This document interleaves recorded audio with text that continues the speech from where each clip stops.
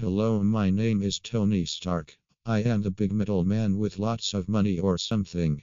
I am totally not dating the boomer Captain America because his boyfriend Buck No Burns killed mommy and daddy on accident. Buck No Barnes was just riding dirty one night after coming back wrecked from a lit party and then oofed mommy and daddy. Anyway, I am now on a shit metal donut in the middle of space with STD Kid and Doctor Stranger version of Sherlock. By the way, he copied me. I was Sherlock first. We're flying through the middle of fucking nowhere off to the Wizard of Oz. I mean, team up with Dancing Spaceman, Big Muscle Man, and I'm Bug Lady, and the Screaming Blue Robot Lady who has mean eyebrows. Now we're gonna face Big Thick Purple Man with magic colorful stones. Hopefully, he didn't accidentally push his scary green lady daughter off the cliff.